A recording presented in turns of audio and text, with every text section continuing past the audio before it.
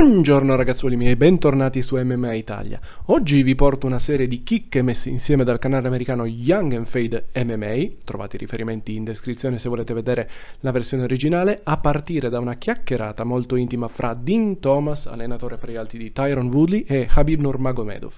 Il tema? Il pronostico dell'incontro fra Conor McGregor e Dustin Poirier. Secondo Habib e Dean, nei primi due round sarebbe avvantaggiato Conor, mentre Dustin potrebbe emergere dal tre- terzo round in poi. Nulla di particolarmente originale, se non fosse che Habib, in un'intervista in Russia tradotta in un estratto in un video precedente, aveva detto che Poirier era per lui il miglior fighter fra i top 5 dei pesi leggeri UFC. So who you got next week? Conor or Dustin? Who you thinking? First two rounds Conor. Yeah, that's what I was thinking too. If it's early, Early is Conor, but third round, number four, I think Dustin can beat this guy. Secondo estratto, sempre dalla stessa trasmissione, ma questa volta è Dana White a sussurrare qualcosa di molto importante a Khabib.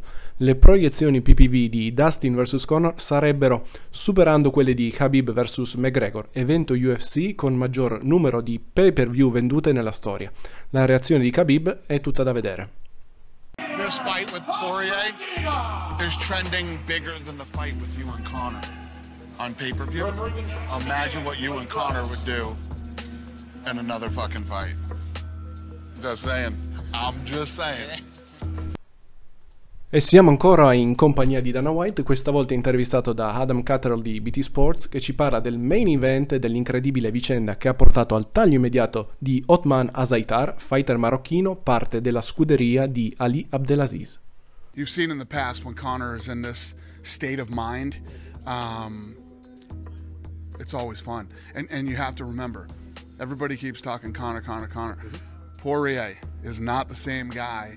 He's fired up. He's getting this opportunity that he's been waiting for for a long time to avenge this loss. When you mix that all up in the pot, we got a good fight on Saturday night. Ottman Azaitar, we're all excited about seeing him fight. Um, we now know that he's not, and the press release has said that it's a health and safety uh, violation. I'm surprised at that because how do you do that out here?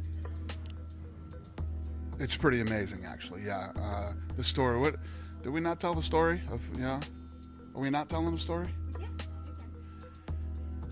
Uh, so he and his team cut off their wristbands, gave them to somebody outside the bubble. I don't know how they even did it.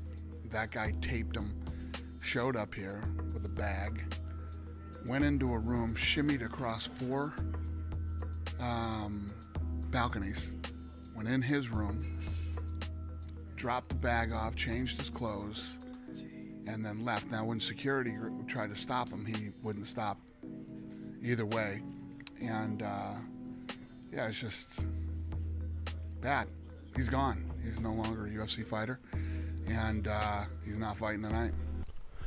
Sentiamo ora Dustin Poirier che parla prima del grande incontro e dà qualche dettaglio in più sulla generosa donazione di Conor alla sua fondazione. What did you take from the stare down tonight?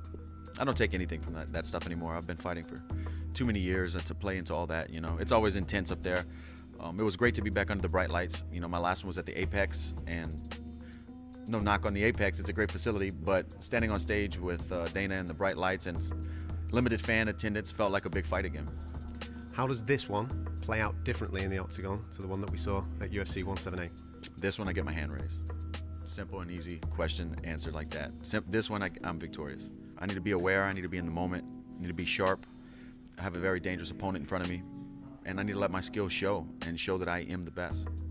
Just away from the fight, you said in the press conference yesterday about the charity donation. Can you tell us a little bit more about that?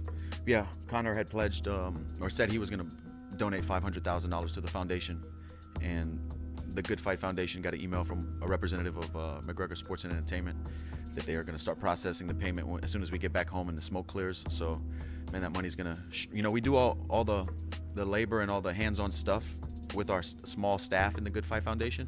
So the money goes so far because we do all the work, you know, and uh, we're not paying people to just a lot of things. We, we do things the right way, and, and 500,000 is a tremendous amount of money to, to go towards a lot of things in Lafayette, Louisiana, and across the world, hopefully.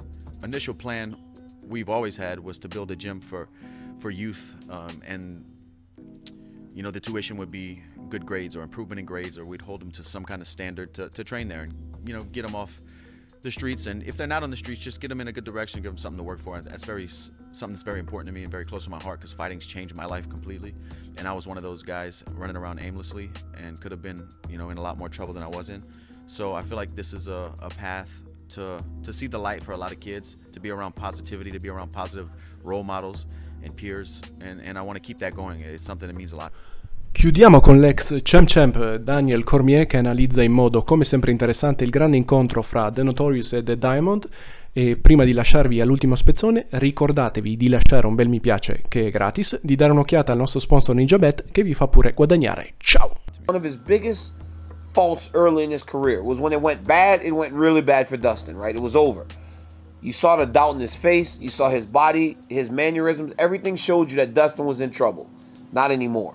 He gets off the, the, the, bench and he tells Dan Hooker, don't look at the clock now. You know, like we got a long time to continue to fight.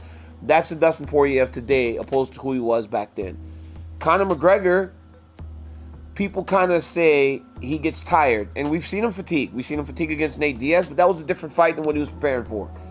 We saw him fatigue against we saw him fatigue in fights. But in the second Nate Diaz fight, Nate Diaz started to build in the third round.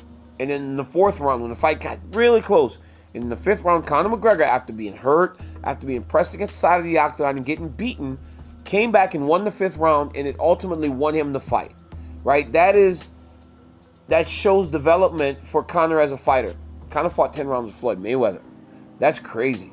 And then he went four rounds with Khabib Nurmagomedov. And who doesn't get fatigued going four rounds with Khabib, and Khabib's having the fight that he wants to have. So um, it seems like that on the surface. But again, there are just so many little details to the fight that we have to see how it starts to play out. You know, I talked to Dustin in Vegas, and, and he's very aware. You know, Dustin's an honest guy. He won't lie to you. He tells you he's very powerful. He's a fa- he's fast. He tells you he's very aware of the the the the positives, the advantages that Conor has. I kind of didn't expect that when I first asked him, but he told me he was like, "Hey, he's a very powerful guy, and he's told you guys that. He's very fast and he's accurate, you know. So I don't think he's going to be jarred by anything anymore, just because he has felt it. He understands what the consequences are to getting hit with it. I just think he has to be on high alert as the fight starts because Conor Fresh can can put just about anybody out.